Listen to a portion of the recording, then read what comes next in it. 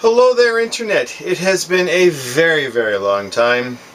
Today is, and you know what, it's been so long, who really cares what today is? Today's been, it's been like a month since I've actually done anything online. Uh, it comes and goes in spurts, as much as I promised. Uh, I keep losing track of time, I keep not having time. But regardless of that, I thought I would come to you guys today and tell you about a neat little thing that I purchased the other day. Uh, I've got good thoughts about it and I've got bad thoughts about it. And of course, I'm not actually going to reveal anything as far as the effect. Well, the effect I will tell you about, but I won't reveal it. Um, eight, maybe eight, nine years ago when I first started with Ellusionist, there was a young guy named Nate Staniforth who was featured on the end of, I think it was Crash 2, doing a, uh, a card trick, and everybody liked that. Nate was really keen. Uh, uh, did a very good video for us. It was fantastic, got good reviews, uh, and because of that, he uh, filmed a video called Spellbinder. Now, it's been a long time since I've seen Spellbinder, uh, and I don't even think we sell it anymore. But it is a, uh, if I'm not mistaken, it was just a, a, video of Nate performing. There was nothing taught. It was just Nate, Nate's journey in magic. Sometime after that, maybe five, six years ago, maybe maybe less actually, he uh, released another video called Magician. And again, it's been a while since I've seen this one, so I can't really accurately uh, portray what was in that video. But it was good. I remember watching it once, and of course, that's how much of an impact it left. But I do remember being impressed. Now, Nate, over the years, has been performing. He's been performing a lot. He has uh, he's doing a lot of college work. Uh, apparently, he's doing uh, clubs and that as well. He's a working magician, and as a result, working magicians get creative when they need to get creative. And I remember seeing a video oh geez, probably last year, the year before, of Nate doing a trick that was uh, that just blew me away. I couldn't figure, I couldn't believe what he had done, and I was jealous. I wanted this trick. Essentially, he basically took a beach ball, which is a standard, this is also a standard method for selecting people in the audience so that people know you're not choosing stooges, I might add. But he would take a beach ball, just chuck it into the audience, get them to stand up and give out any two-digit number between like maybe like 1 and 60 or something like that. It doesn't have to be two digits, but any number between 1 and 60. Uh, that beach ball was then chucked to another place, same process, and in, all in all, six different times that beach ball was thrown. Uh, and if I remember, he either asked for a volunteer or the beach ball was thrown again, and that person who caught it the last time was brought up onto stage. And in full view, th these people just basically uh, stood up, rounded out their numbers, they, st they stayed standing so that uh, he uh, would recognize who they were and what their numbers were.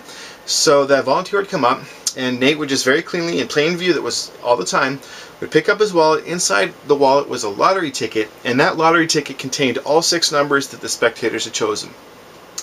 Uh, and at the time, I thought it was impossible. I thought there was no way on God's green earth that this is possible. Um, especially under the conditions upon which it was uh, portrayed in the YouTube video. And I must say that that trick was done superbly. The the staging, uh, the mechanics of how he interacted with the audience, his personality, the rapport, fantastic.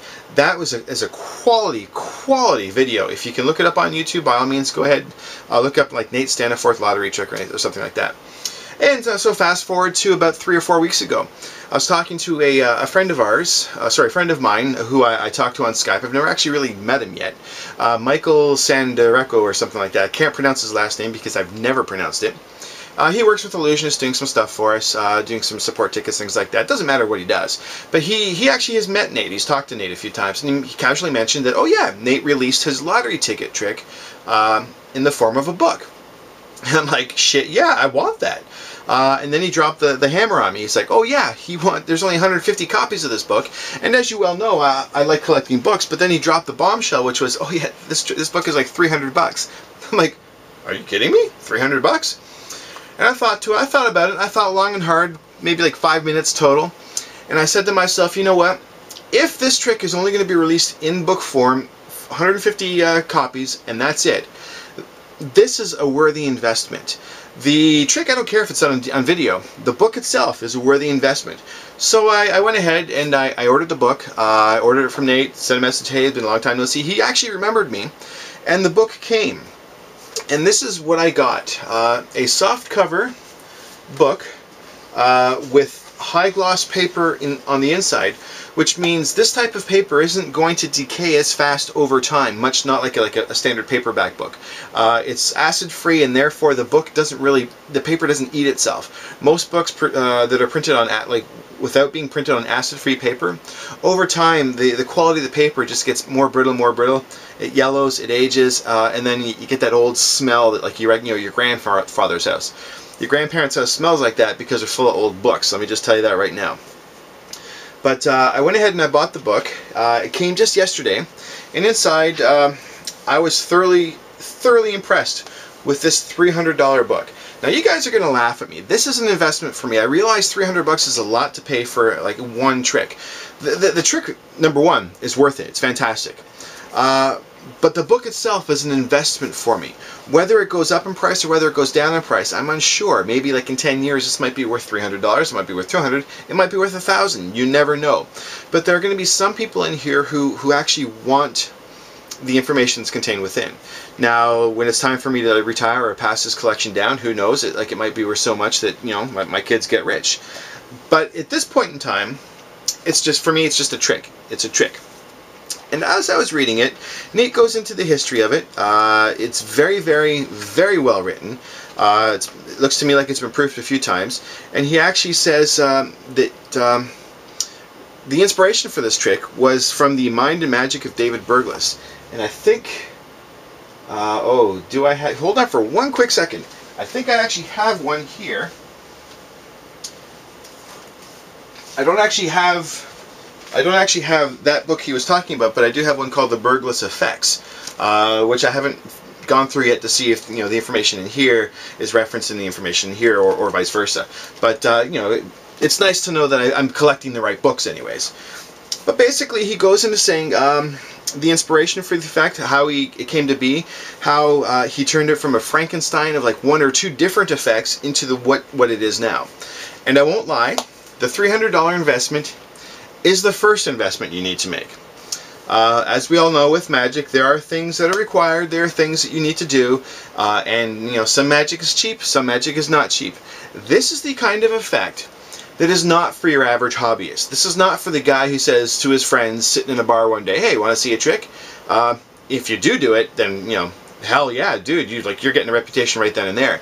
But this is a trick for a working magician. This is this is a trick for someone who goes out there, earns his bread and butter doing magic day in and day out. I can understand why there is only 150 printed because he doesn't want any every Tom, Dick, and Harry going out and performing this. Since how this is what I would consider his signature piece. He actually considers it a throwaway um, something to be done wherever, whenever. You know, like I, I can, I think it's the best trick that I've ever seen him do.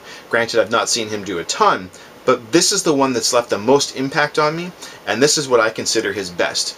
So, on that note, if you're just a hobbyist, like you're not even going to want to give this a second chance.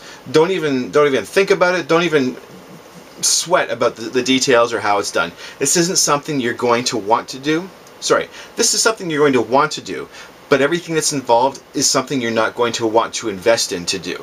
Uh, the working magicians, like like I said, the guys who are doing magic, you know, three four days a week, uh, touring around the country, uh, doing stage shows, fundraisers, things like that. This is the kind of thing that I think that those guys would want to do myself, I could see myself putting this together because every now and then I still do a fundraiser show. Uh, I still do uh, shows, uh, you know, like special specialty one-off shows that I do for friends or, or people, special functions that I am associated with. Um, I don't hire myself out. I don't perform other than those effects. Uh, sorry, other than those uh, you know venues. But this is something I would consider performing in one of those venues. That's how much impact this has. This is a closer. Uh, if you can find anything like, especially especially a mentalism effect, this this is definitely a closer. If you can find something as or more powerful, then by all means, go ahead and do that. Like your your show will be phenomenal. But it's not for everybody, but it is an amazing, amazing trick. It's broken down. I think uh, basically like there's there's one trick. He's broken it down into uh, like three different ways, three or four different ways to set the trick up, three or four different ways to get the trick ready, three or four different ways uh, to have, have, the trick function while you're performing it, and another three or four different ways to, to finish and finalize and present the effect. Like, like it's basically like a choose your own adventure with like a lottery trick. There's so many different ways that you can perform the trick, present the trick, uh, show the trick, reveal the trick. That like it warrants this thick a book. Like you would think that like you know just one trick doesn't really warrant this much of this much paper or anything like that but it does. Uh, and I will say he's gone into remarkable detail, remarkable thought, and incredible, incredible creativity in order to come up with the, the book that you see here chances are they're all sold out by now. If they are, then really, like like I said, no love lost. You're not going to miss it. If they're not, unfortunately, you and if you wanted one, sorry, if they are sold out and you you wanted one, eh, I'm sorry, it's too bad. If they're not sold out and you want one, by all means, go scoop them up. I don't see them lasting much longer if they're not already sold out. And so uh, that is my two cents on the Nate Staniforth lottery trick. Again, look it up on YouTube. You will be blown away 100%, I guarantee it. And until next time, my name is David Mitchell, and you guys have a nice day.